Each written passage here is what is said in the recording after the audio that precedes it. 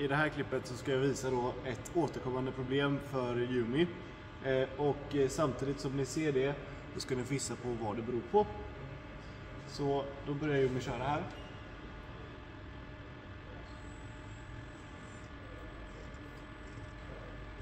Kolla noggrant här nu då.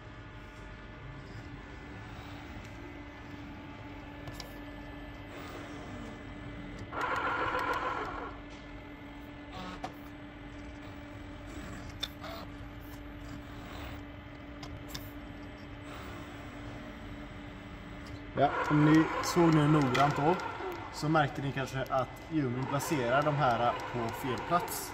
Eh, och det är för att det här bordet som Ju, alltså Jumin och den här fixturen står inte på samma bord. Så om bordet flyttas lite så ändras eh, positionen lite också. Eh, och då ska jag visa hur man kan ändra den här positionen så att Jumin plockar på rätt ställe. Istället för att man behöver flytta bordet precis eh, vart den, eh, vart den placerar då. För det är betydligt mycket svårare. Det första jag kommer göra då är att jag går in på eh, koden här. Ehm, och så väljer jag modul 1 eh, och station 2 är den inne på nu hoppas jag. Eh, och här är då egentligen koden så jag kan läsa av den samtidigt som robotprogrammet körs. Eh, och det kan vara väldigt användbart.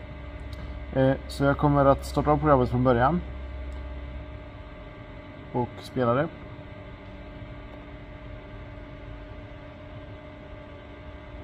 Och trycka till roboten så den börjar.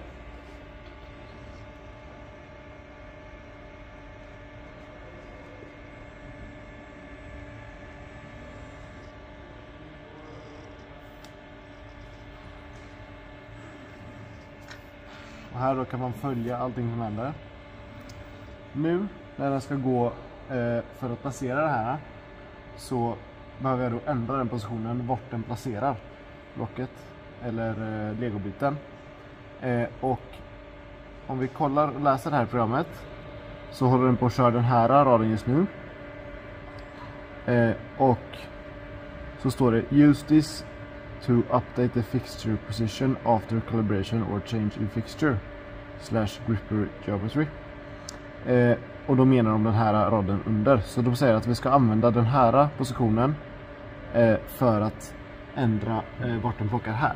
För att den fungerar inte riktigt som en vanlig position, eh, utan, alltså vart den placerar, utan den utgår ifrån vilken storlek. Vi har ju tre olika storlekar. Vi har ju eh, stor, mellan och liten.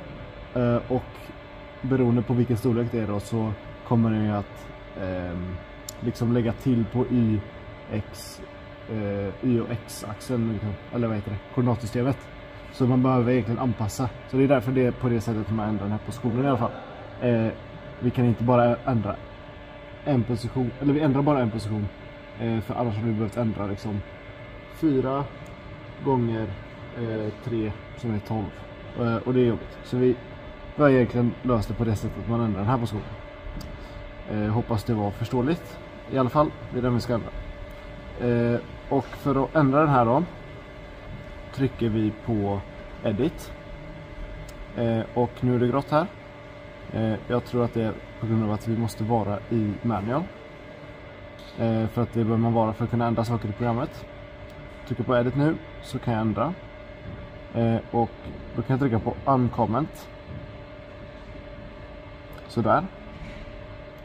Eh, och så testar vi kört den här positionen. Så då trycker vi på den här knappen här. Alltså att den kör bara ett steg. Alltså nästa steg, men bara ett steg. Då har den gjort det här steget. Sen kör vi det här steget då. Går den dit. Det går väldigt långsamt, vilket är bra nu. Eh, man kan ju ändra hastigheten. Den kör hit. Och det här är ju fel position. Här ska ni inte placera det första. Eh, och eh, då vill jag då jogga till den positionen som jag vill att den ska placera det till. Eh, för att jogga så går jag in här uppe. Eh, och så väljer jag jogg. Och här då kan jag välja vad jag vill jogga egentligen. Eh, och jag vill jogga linjärt, för det kommer vara lättast här.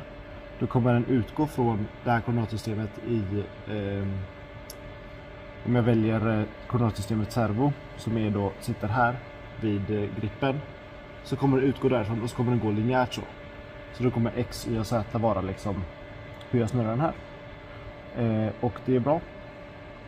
Eh, så jag kan testa lite nu. Vad händer om jag drar hitåt? Då går den ditåt. Och det är bra. Eh, här kan jag då försöka ställa in så att den är precis ovanför.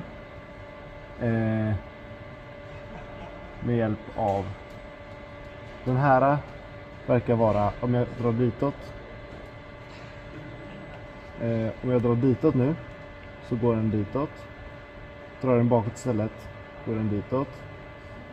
Drar jag den åt det här hållet går den dit. Så det är egentligen samma som joysticken när jag står från det här perspektivet. Men när jag står så blir det något annat.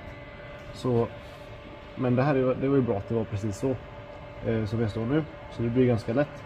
Och sen så skruvar jag neråt så går det neråt. Ja. Skruvar jag åt det hållet så går det neråt.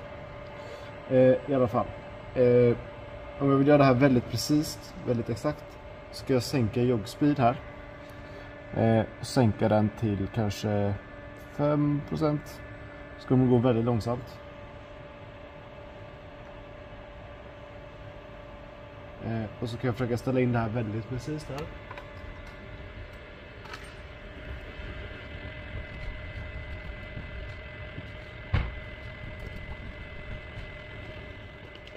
Sådär, nu är den exakt ovanför. Eh, precis så att den nuddar, eller nästan inte nuddar. Alltså precis liksom... Ja. Så det är där den ska vara, det är där den ska placera egentligen. Eh, och då markerar jag den här positionen. Och så trycker jag på Update Position. Där. Och så säger jag till den Update. Och det den har gjort nu är att den har uppdaterat positionen till den som den står vid nu. Och det är där jag vill att den ska passera. Och nu är det väldigt, väldigt viktigt att man inte glömmer att sedan också göra det till en kommentar igen. Eh, genom att trycka på eh, Edit igen och Comment. Så vi gör den här raden till en kommentar som det var innan. För annars eh, ja, blir det inte bra. Ja, nu kan vi då testa från början. Eh, fortsätter trycka på play här. Se vad som händer. Låtsas som att den placerar den här då. Det ska vara.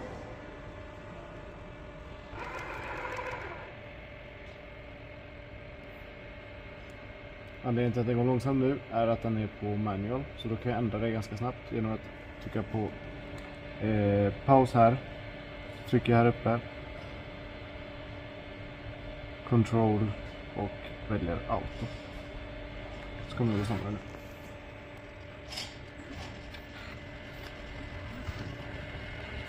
Sådär, nu placerar jag den precis där den skulle vara. Får vi se om vi gör det med den här också. Sen när allting är eh, när ni gör bra på den här största storleken så kan det vara värt också att testa på den minsta storleken. För det kan hända att eh, det skiljer sig lite åt. Men det borde ju funka om det funkar på den största. Och det är alltid värt att testa också. Sen en position man kan ändra är också den här, vart den plockar här. Eh, nu är den i och för sig fastskruvad så det behöver man inte ändra. Men innan så var det tejpat och då behöver man ändra den också ibland. Eh, men nu kommer det förmodligen bara de här man behöver ändra då och då. Eh, efter att man har flyttat ljuming.